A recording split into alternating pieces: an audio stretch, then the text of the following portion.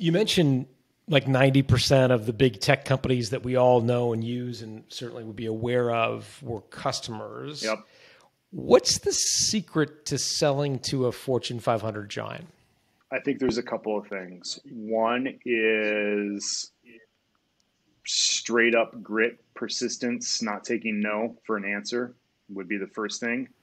In fact, I had this little thing that if I hired you as a salesperson, you had to you had to read the Green Eggs and Ham book as part of your onboarding, and the whole it's not it's not really a sales book, but it is a sales book. But the whole point of that thing is that you're going to have to go through a shit ton of no's and a thousand different objections, but you have to keep asking, and then eventually, you know, eventually you'll find something. So that's so that's one, just grit, perseverance, whatever you want to call it. Um, the second the second is a willingness to listen. And what I mean by that is, you know, in our business, we would ask questions first before trying to share this is what we do. We would ask, you know, what are you doing with your training? How does it working in the past? Is it is it helpful?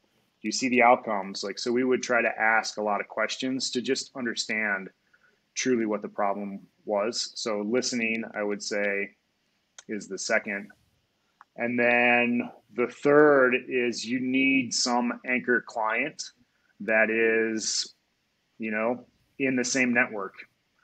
It's like, you know, if you're trying to sell to Ford and you, all of the customers that you have are three person small businesses, Ford's not going to look at you as a realistic vendor.